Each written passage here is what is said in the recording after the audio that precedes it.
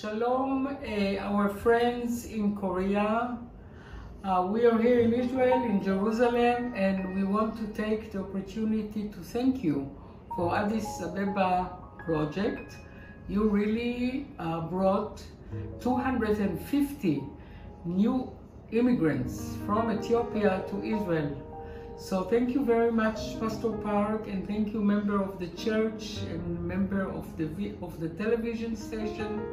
We appreciate Kamsamida. Yes, Pastor Park and Rhino TV. Uh, it's such a beautiful way to show your love uh, for Israel and the Jewish people by bringing these Ethiopian uh, Olim here to Israel. And so I want to thank you as one Christian to another. Thank you very much. God bless you.